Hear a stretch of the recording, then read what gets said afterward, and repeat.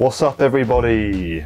First video in like two months. Trying to burn 10,000 calories in 24 hours. Something I've done many, many times this year now. Probably overdone it. Yeah, I did it every week in February, every week in March, more or less every week in April. I'm not going to talk about attempts 10 and 11 because I gave up on the challenges like halfway through. So there's no point wasting your time talking about that rubbish. Attempt number six is when I woke up and started the challenge as per usual, 4.15 a.m. Walked all the way to work, bearing in mind it's early March here, so it's still pitch black, very, very dark when I walked to work. Did some work for four hours, walked all the way back, and judging by the footage I'm seeing here, it was very, very cold. And then I had my pre-workout from Bulk Powders, this is not sponsored by the way, it's not sponsored. And the one you're seeing here is this one, Pre-Workout Advanced. It's to give you a little bit more energy to help you with your exercise. Okay, on this attempt, yet another run with Sam and every time we used to do the bleep test or beep test, then I walked back home from the run with Sam,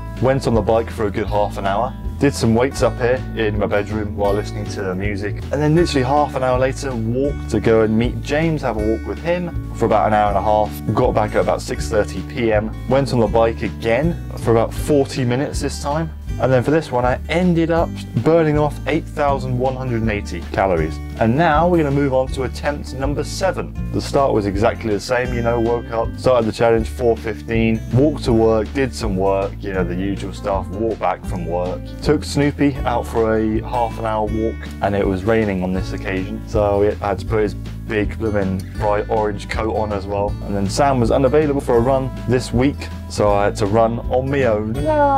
Ah, this was the week I did some circuit training. So basically I did some a dumbbell exercise for a minute, then got onto the this gym mat that I bought because obviously at that time, unlike now, the gyms were closed. So I did some upper body stuff with the dumbbells, did some core stuff on the mats, and then did some cardio, so basically lower body stuff on the exercise bike, so all in one circuit training. Then I went for a walk with James, would you believe it? That never happens. Then went on the bike again. Yeah, now for that one, ended up doing 8,361 calories. Now there are two other ones, which are my two best ones coming up, but they are so similar, and there's only 140 calories in it.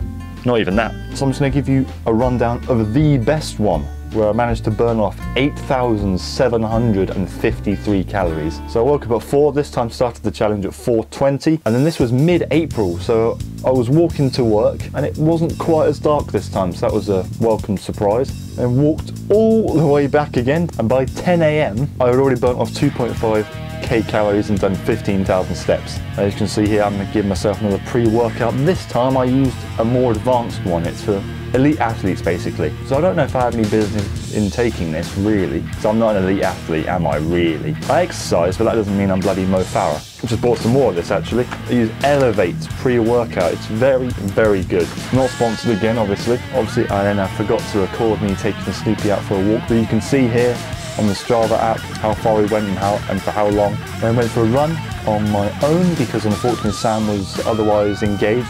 Yeah, this run was six miles as you can see. And then, this is what separates this one from the others. I actually managed to go to the gym. They'd finally reopened, yes! They'd finally bloody reopened after how many months? Yeah, I went on the exercise bike and then the treadmill and the rowing machine as well, you know.